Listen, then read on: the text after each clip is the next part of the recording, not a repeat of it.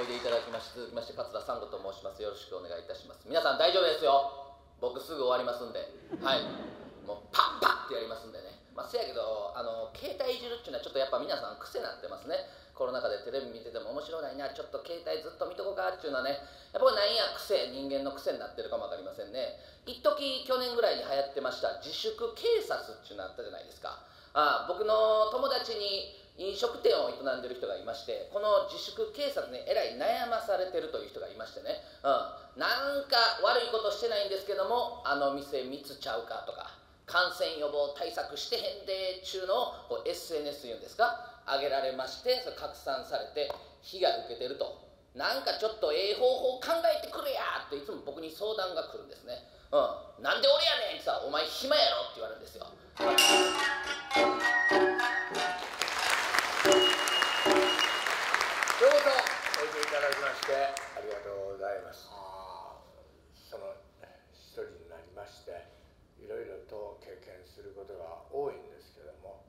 スーパーデビューをいたしましてですね、えー、買い物行くっていうのは今までなかったんですけどもちょっとこういうような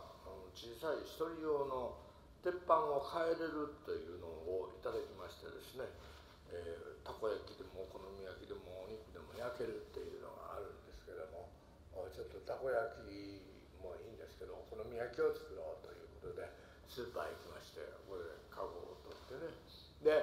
あの取るカゴは一つだけこうなんか取りやすいようになってあれ誰がやってはんのかな思うんですけど、えー、それやってるとこ見たことないんです。まあとりあえずこれ取ってでそれで周りからねいろいろ心配して言うてくれるんです、えー、やっぱり文さん野菜は取った方がいいですよ。というふうにほうれん草のおひたしがありましたんでおひたしと。でポテトサラダとポテトサラダはも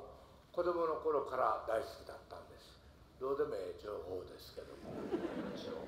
ポテトサラダ。それで、えー、牛乳は奥の方から取った方がいいですよ」って言われて、えー、奥の方から牛乳をもう取ってきたらそれが一番古かったりなんかして。ありがとうございます。中入り休憩終わりまして続きまして桂三四郎でお付き合いいただきます。よろしくお願いいたします。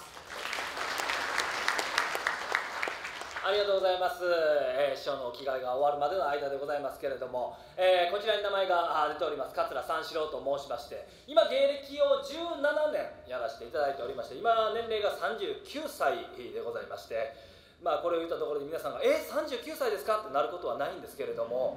まあ妥当というような空気が皆さんの中に流れるちゃんと伝わっております。まあ17年もやらせていただきますとこういう出てきた時の皆さんの空気拍手迎え方でなんとなく分かるようになってきますね。あ今日お越しの皆様は僕のことを見るのがほとんど初めてだろうなということがなんか出てきた瞬間に皆さんの人見知りが突き刺さってきますね。で座って頭を下げて皆さんの顔を見てこれが確信に変わります。というのを僕も皆さんの顔を見るのが初めてですからお互い初対面同士ですからちょっとずつ心の距離感を縮め合っていきませんか？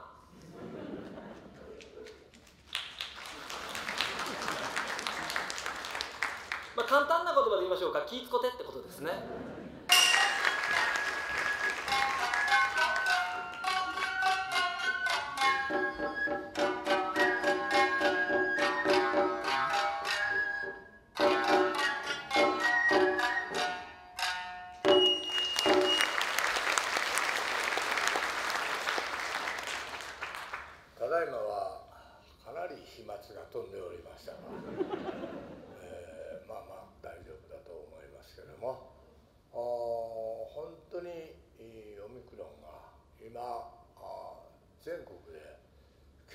構な数に上っております。えあの先ほど学園の新聞で見まして昨日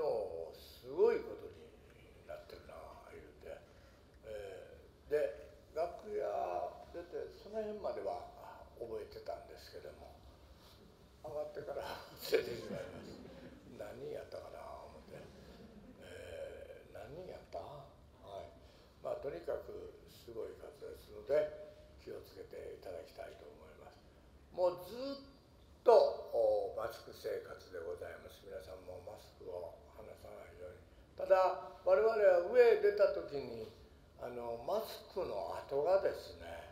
すごくついてしまうのでこここれマスクの跡なんですこれがね、えー、あの決してこう目の下のあれじゃなくてこれマスクの跡あのいろんなことがありましたですけどもそういうのを乗り越えて、えー、来れたのも落語というものがあったということとそして私の落語を聞きに来てくださる皆さんがいらっしゃったから私も今日まで元気に来れたと思います。これからも頑張りますのでよろしくどうぞ。今日はありがとうございました